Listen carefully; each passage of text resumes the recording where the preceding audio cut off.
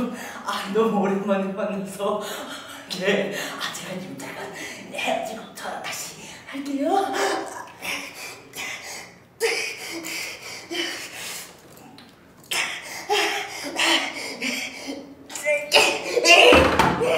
야! 나와! 나오라고! 김어갔냐! 아!